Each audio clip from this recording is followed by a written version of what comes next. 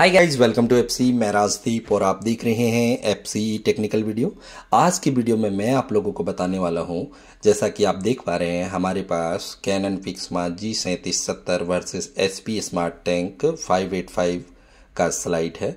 और इस वीडियो में मैं आप लोगों को बताऊँगा यदि आप परचेज करना चाहते हैं कि आपको कैनन का प्रिंटर परचेज करना है या H P smart tank purchase करना आपको ये डिसाइड नहीं कर पा रहे कि हमें कौन सा प्रिंटर सूट करेगा, क्योंकि प्रिंटर सारे अच्छे होते हैं बट फ़ंक्शन और इसका जो काम करने का तरीका है, यदि वो आपको पता चल जाएगा तो आप अपने लिए एक बेहतर प्रिंटर परचेज कर सकते हैं। तो वीडियो के लास्ट तक बने रहें, वीडियो के लास्ट तक बने रहें। यदि आपने आज तक हमारा चैनल सब्सक्राइब नहीं किया है या तो आप पहली बार इस वीडियो को देख रहे हैं तो हमारे चैनल को सब्सक्राइब करें ताकि आगे आने वाले और भी टेक्निकल वीडियो का अपडेट आपको सबसे पहले मिलता रहे। तो आज हम ये वीडियो में जानेंगे कि कैनन पिक्समा जी सैंतीस सत्तर और H P smart tank five eight five में मेजर क्या डिफरेंसेस हैं और कौन सा बेहतर होगा आपके लिए। तो सबसे पहले प्रोडक्ट व्यू और फ़ंक्शन के बारे में जान लेते हैं। तो सबसे पहले कैनन पिक्समा जी सैंतीस सत्तर का मॉडल कुछ इस तरह से है। इसमें तीन कलर का टैंक एक साइड है और ब्लैक का एक साइड है, ठीक है? और एचपी में चारों कलर का टैंक एक साइड दिया हुआ है। और इसमें बात करते हैं डिस्प्ले और बटन्स का तो इस मामले में कैनन बाजी मार रहा है। कैनन का डिस्प्ले बड़ा होता है और बटन भी ज़्यादा है और एचपी स्मार्ट टैंक का डिस्प्ले ऊपर है और छोटा है। तो इस मामले में कैनन बाजी मार रहा है और कैनन का फ़ंक्शन के बारे में भी डिस्कस कर लेते हैं। कैनन में लाइट डार्क प्रिंट फोटोकॉपी कर सकते हैं, क्योंकि इसमें फ़ंक्शन दिया हुआ है। बड़ा, छोटा रिड्यू रिड्यूज इन लार्ज कर सकते हैं। बट ये फैसिलिटी आपका एच पी स्मार्ट टैंक 585 में नहीं दिया हुआ है। ठीक है? ये हो गया फ़ंक्शन, मेजर फ़ंक्शन। इतना डिफरेंसेस इस पेज में है। अब आगे के पेज में देखते हैं। तो आगे के पेज में हम ऑनलाइन प्राइसिंग की बात करते हैं। तो ऑनलाइन प्राइसिंग में कोई खास अंतर नहीं है। ऑनलाइन ऑफलाइन मोड में आप जिसमें जाएँगे, चौदह से पंद्रह हज़ार में दोनों प्रिंटर अवेलेबल है। ठीक है? अब आगे की स्लाइड में बढ़ते हैं। इन बॉक्स इल्ड जब प्रिंटर न्यू आता है हमारे पास तो उसमें जो इंक रहता है, उसका माइलेज क्या होता है? तो बात करते हैं कैनन पिक्समा जी सैंतीस सत्तर का। तो ब्लैक का माइलेज सिक्स थाउज़ेंड है और कलर का सेवन थाउज़ेंड सेवन हंड्रेड है। एच पी स्मार्ट टेन की बात करते हैं फाइव एट फाइव का तो ब्लैक सिक्स थाउज़ेंड है और कलर सिक्स थाउज़ेंड है। तो इस मामले में कैनन बाजी मार रहा है, क्योंकि माइलेज इसका कलर का ज़्यादा है। अब आगे के स्लाइड में बढ़ते हैं। बात करते हैं ड्यूटी साइकिल। ड्यूटी साइकिल का मतलब है कि आप मंथ में कितना प्रिंटर को यूज़ कर सकते हैं, उसके लिए बना है। तो कैनन पिक्समा जी सैंतीस सत्तर भी थ्री थाउज़ेंड के लिए बना है और H P smart tank five eight five भी थ्री थाउज़ेंड के लिए। बट इसमें आगे के स्लाइड में मैं बता रहा हूँ, उस पर गौर कीजिएगा।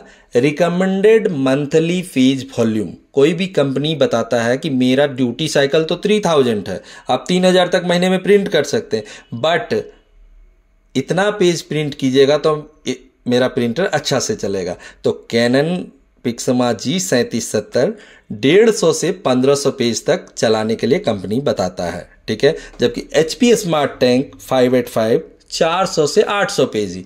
तो इस मामले में भी कैनन पिक्समा जी सैंतीस सत्तर बाजी मार रहा है। अब आगे के स्लाइड में बढ़ते हैं। आगे के स्लाइड में स्कैन रेजुलेशन की बात करते हैं। तो scan resolution Canon Pixma G सैंतीस सत्तर में 600 hundred D P I into twelve hundred D P I है, जबकि H P smart tank five eight five twelve hundred into twelve hundred D P I है। तो इस मामले में एच पी स्मार्ट टैंक आगे निकल रहा है। यदि आपको प्रिंटर खरीदना है स्कैनिंग के रिलेटेड तो आप H P smart tank five eight five लें तो आपका स्कैनिंग का क्वालिटी कैनन से बढ़िया होगा। ठीक है, अब आगे की स्लाइड में बढ़ते हैं। Print speed, mono and colour. तो प्रिंट स्पीड में कोई खास अंतर नहीं है। कैनन पिक्समा जी सैंतीस सत्तर eleven P P eleven I P M है और सिक्स आई पी एम में कलर है, जबकि H P smart tank five eight five में ट्वेल्व पी पी एम आपका मोनो है और five I P M colour है। तो मिला जुला के देखा जाए तो स्पीड में कोई खास अंतर है नहीं। तो आगे बढ़ते हैं। नंबर ऑफ़ नोजल्स, ये मैटर करता है।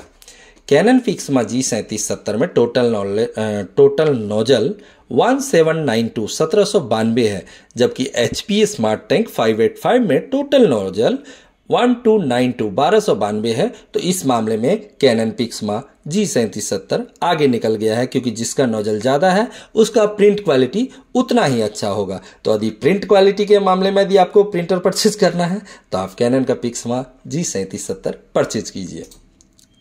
अब आगे बढ़ते हैं। Print resolution. तो प्रिंट रेजुलेशन दोनों का सेम है तो इसमें हम डिस्कस ज़्यादा करते नहीं हैं। अब आगे बढ़ते हैं, मेंटेनेंस कार्ट्रेज। ये एक सबसे बड़ा चीज़ है। देखिए, प्रिंटर क्या होता था? प्रिंटर में आप जब इंक यूज़ करते हैं, इंक डालते हैं तो वो जब प्रिंट होता है तो हंड्रेड परसेंट इंक हमारा पेपर पे नहीं आता, कुछ वेस्ट होता है। वो वेस्ट वेस्ट इंक एक एब्जॉर्बर में जाता है, जो प्रिंटर के अंदर होता है। तो पहले क्या होता था कि एब्जॉर्बर प्रिंटर के अंदर लगा हुआ रहता था तो वो फुल होने के बाद जब उसके अंदर गिरने लगता था तो ओवरफ्लो होने लगता था और ओवरफ्लो होके सारा फैल जाता था प्रिंटर के अंदर जिसके कारण पेज में दाग आ जाना प्रिंटर का लाइफ कम हो जाता था सेंसर में चला गया सेंसर शॉर्ट हो गया तो ये सब दिक्कत आता था। तो कैनन ने क्या किया है कि अभी मेंटेनेंस कार्टेज बोल के वही वेस्टेज पेड का किट लाया है और उसको इतना आसान कर दिया है को, कोई कस्टमर भी खुद से उसे इंस्टॉल कर जाता है। और सबसे बड़ी, बढ़िया बात है कि जब वो मेंटेनेंस कार्टेज फुल हो जाता है तो वो प्रिंटर में मैसेज दे देता है कि आपका मेंटेनेंस कार्टेज फुल हो गया, आप चेंज कीजिए। और उसको चेंज कर देने के बाद वो ओवरफ्लो होके प्रिंटर के अंदर इंक नहीं फैलता है, जिसके कारण प्रिंटर का लाइफ बढ़ जाता है। तो वो फैसिलिटी कैनन पिक्समा जी सैंतीस सत्तर में है। और उस मेंटेनेंस कार्टेज का नंबर है M C dash G zero four तो यदि आपको लॉन्ग लास्टिंग वाला प्रिंटर लेना है तो कैनन पिक्समा जी सैंतीस सत्तर लेना है और H P smart tank five eight five में ये वाला मेंटेनेंस कार्टेज नहीं है, जिसके कारण इसका कैनन के तुलना में इसका लाइफ कम हो जा रहा है। तो मिला जुला के यह निष्कर्ष निकलता है कि यदि आपको प्रिंट क्वालिटी चाहिए प्रिंटर का लाइफ अच्छा चाहिए प्रिंटर का माइलेज चाहिए तो आप कैनन पिक्समा जी सैंतीस सत्तर परचेज कीजिए। और यदि आप स्कैनिंग पर्पज से प्रिंटर ले रहे हैं तो आप H P smart tank five eight five लें। ये आपके लिए बेटर होगा। आशा करते हैं ये वीडियो आपके लिए हेल्पफुल हो। यदि आपको ये वीडियो अच्छा लगे तो वीडियो को लाइक चैनल को सब्सक्राइब और पॉसिबल हो तो आप इस वीडियो को अपने दोस्तों के साथ शेयर करें जो इसी प्रोफेशन से जुड़े हों। धन्यवाद।